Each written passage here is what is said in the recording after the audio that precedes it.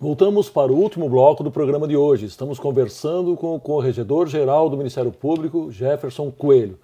Muito bem, corregedor, eu gostaria agora de conversar um pouco com, o senhor sobre a Lei de Responsabilidade Fiscal. Essa lei que, depois da sua instituição no ano 2000, mudou a feição é, das administrações públicas, especialmente dos estados e municípios, mas que é, há críticos, inclusive, que veem nela um certo rigor excessivo com os estados e principalmente com os municípios e não tanto com a União.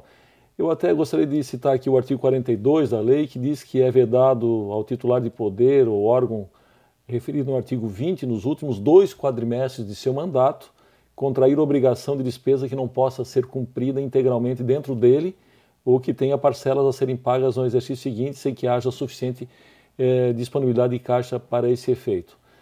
Bom, é, me parece que o alcance dessa regra é maior, inclusive, para os municípios, que muitas vezes o, município, o prefeito, no último ano do seu mandato, é, tendo algum problema de caixa, não conseguindo saldar aí as, as despesas contraídas nos dois últimos quadrimestres, acaba virando improbo. E um especialista em orçamento entrevistado aqui nesse mesmo programa, o Flávio Tonelli Vaz, ele afirmou que a lei de responsabilidade fiscal é muito cruel com o que ele chamou de orçamento do povo, ou seja, o que se gasta com a, com a população, e muito leniente com o orçamento financeiro.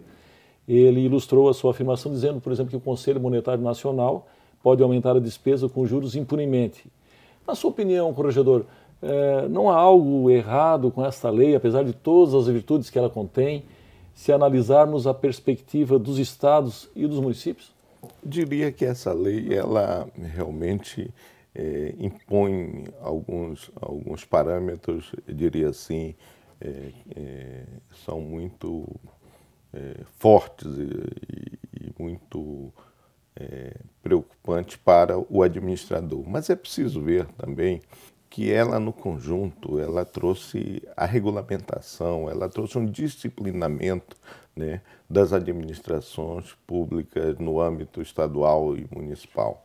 É assim, no meu ponto de vista pessoal e com uma visão de Ministério Público é, e dentro da nossa atividade que é característica pela, pela trazemos aquela imposição do, do, do caráter de obrigatoriedade da atuação nossa, é, ela é muito positiva, ela, ela nos impõe que sejamos é, exigentes com esse ponto de vista, porque nós temos que pensar a nível nacional.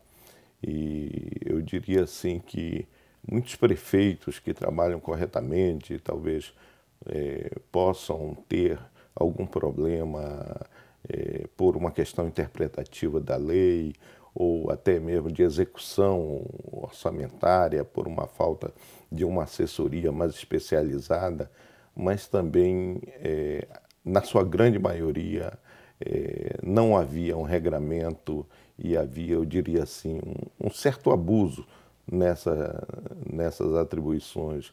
Daí, no meu ponto de vista, essa, essa lei é muito positiva para o país. Tá certo. Voltando agora para o campo da corrupção. Geralmente se consegue chegar aos corruptos, mas raramente se alcança o dinheiro público desviado. O que falta para que esse ressarcimento daquilo que é subtraído do erário público possa ser retornado, possa ficar acessível e voltar novamente para benefício da população? Esse tema é um tema que, que nos preocupa a todos é, como instituição, como cidadão, né? e nós temos a percepção de um trabalho agora muito intenso por parte da Advocacia Geral da União, é, que tem sido, diria assim, nesses últimos tempos, implacável com essa questão. E já é, cons conseguimos verificar êxitos nesse tema. Né? Então, eu, eu acho que esse, esse panorama, esse quadro é, ele começa a mudar e mudar positivamente. E eu espero que todos nós possamos contribuir para a efetividade dessas questões. Tá certo. Eu gostaria que o senhor falasse agora um pouco sobre o trabalho que está sendo desenvolvido aqui pela Corregedoria em Santa Catarina. O senhor me disse no intervalo que veio com uma equipe grande, até pela amplitude do trabalho realizado. Quais as suas conclusões preliminares? O trabalho está sendo bem feito? Que tipo de ocorrência foi verificada? O que, que o senhor gostaria antecipar fora do seu relatório oficial? É, nós estamos é, realmente com uma equipe de 37 pessoas aqui, verificando a atuação do Ministério Público Federal, Ministério Público do Trabalho e o Ministério Público Estadual. Né?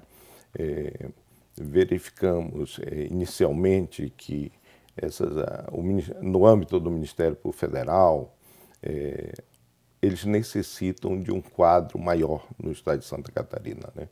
Porque a busca das atividades, a, de implementação dos programas nacionais do Ministério Público Federal exigem uma atuação mais firme no Estado é, e o número de, de colegas que atuam aqui é, precisa que seja aumentado para que, muito embora eles tenham um trabalho muito efetivo aqui no Estado, mas nós precisávamos que é, uma compreensão maior para um aumento desse quadro aqui. No âmbito do Ministério Público do, do Trabalho, nós trabalhamos com um número é, muito pequeno de servidores, o que dificulta uma atuação mais eficaz da instituição. O Ministério Público Estadual aí é, tem prestado relevantes serviços e nós estamos assim verificando também o seu funcionamento no interior, de forma que possamos é, aperfeiçoar o funcionamento no Ministério Público no Estado de Santa Catarina. Essa é a função primordial da inspeção, é verificar, trazer o Ministério Público a perto da sociedade e exigir que o serviço prestado seja um serviço de qualidade, aquele que é o maior interessado no nosso trabalho, que é o cidadão.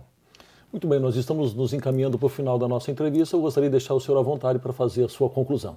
Bom, Nele, eu queria agradecer, a minha primeira palavra de agradecimento né, por essa oportunidade e agradecer a todos os membros do Ministério Público no Estado, as autoridades, né, porque pela receptividade que tivemos no Estado e agradecer pelos membros do Ministério Público pelo seu trabalho desenvolvido aqui nesse Estado, que é muito importante para o Ministério Público Brasileiro. O agradecimento também é nosso. Muito obrigado por ter nos concedido essa entrevista. Obrigado. Chegamos ao fim do nosso programa. Hoje conversamos com o Corregedor-Geral do Ministério Público, Jefferson Luiz Pereira Coelho. Visite nosso canal no YouTube. Após a barra é só digitar Justiça do Trabalho SC sem cedilha. E você também pode nos seguir no Twitter no endereço TRT_SC. E se preferir, envie uma sugestão de entrevista para ascom.trt12.jus.br. Voltamos semana que vem com mais um tema do seu interesse. Até lá!